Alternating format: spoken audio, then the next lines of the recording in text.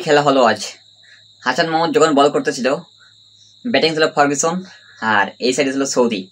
যখনই বল করবে, তার আগেই সৌদি ক্রিজ থেকে বেরিয়ে যায়। তখনই হাসান মাহমুদ আউট করে দিই তখনই থার্ড আম্পের কাছে কল জানালে, তখন সৌদি আউট হয়ে যায়। তখন যখন ক্রিজ থেকে মাঠ থেকে বেরোইতে যায়, তখন সৌদিকে আবার হাসান মাহমুদ ও লিটন দাস থেকে তাকে আবার ব্যাক নিয়ে তারা কখনোই চায় নাই যে কোনোভাবে সঠিকভাবে আউট ছাড়া এমনিতেই কোনো ব্যাটিং আউট হোক। এই কারণে তাকে আবার ফিরিয়ে আনা হয়। এই দেখে সৌদি খুবই খুশিতে হাসান মাহমুদকে জড়িয়ে ধরে।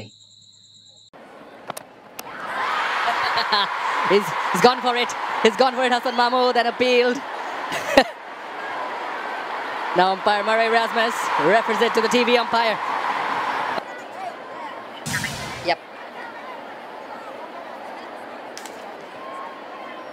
Okay, yeah, the wicket is broken and the non-striker is clearly out of the crease. I'm ready with my decision for the big screen.